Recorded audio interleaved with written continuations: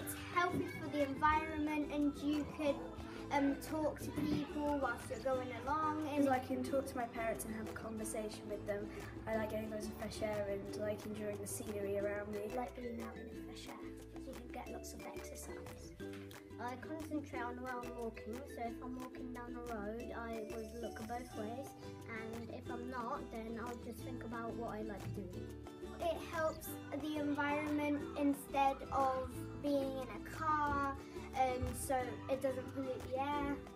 Car, the cars pollute the world and walking is active travel and doesn't release carbon emissions into the air. Less cars mean less air pollution. Um, it is extra important during COVID-19 to keep you, you healthy and get fitter, but remember to keep your distance. If you're in a car, you, you uh, spread germs more easily, but if you're not in a car, then you could, uh, then more people wouldn't be around you.